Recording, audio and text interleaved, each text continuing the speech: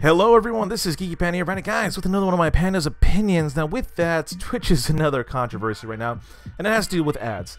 Now, Twitch has recently announced that Twitch Prime members will start seeing ads in the streams they watch. With this, new Prime members will start seeing them sooner, while current members will start seeing them at a later date onwards.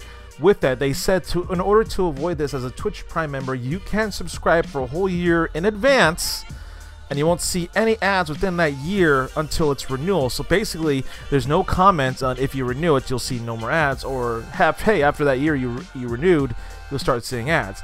Either way, it's kind of a dick mood by getting giving people you know uh, getting people to give you more money to do this.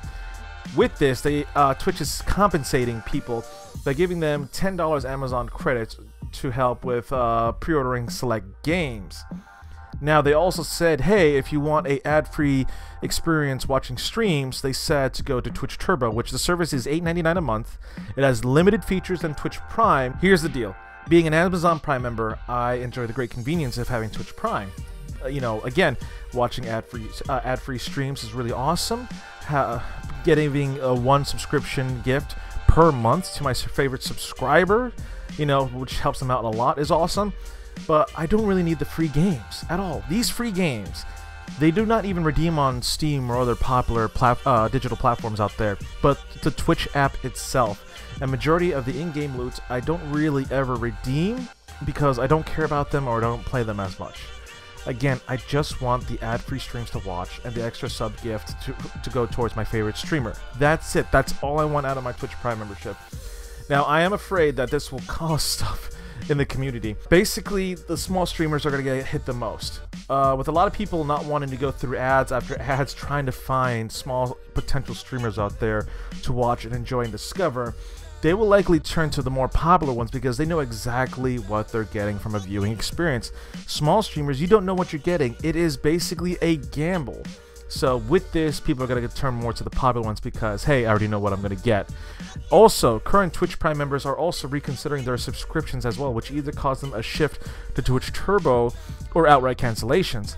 And of course, people using ad blockers will be on the rise again. When you eliminate a key feature that people enjoyed, they will go to lengths to keep that enjoyment and convenience. So ad blockers uh, users uh, will watch streams and Twitch partners and Twitch themselves won't get that revenue. Now, the reaction from the community has been mostly negative on all social media fronts, and even including the Twitch blog. If you go on uh, Twitter, if you go on the Twitch blog itself, and go on Facebook, you'll just kind of see a lot of negative comments about this. Of course, how can you possibly fix this situation? Well, Twitch could either bring back the ad-free uh, feature and maybe restructure Twitch Prime to not have some of the other stuff that we don't really want or need, or they can give Amazon Prime members an option to choose whether or not they want to have Twitch Prime or Twitch Turbo.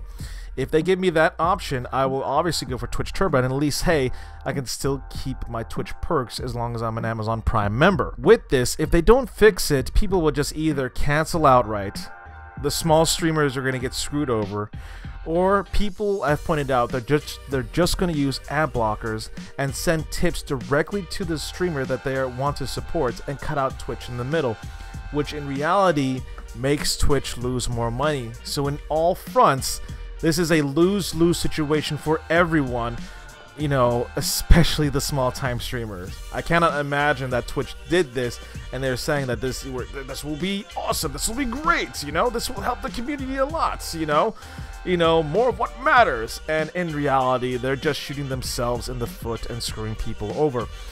With that, though, that's going to be it for today. Please post down your opinions right down there in the comment box.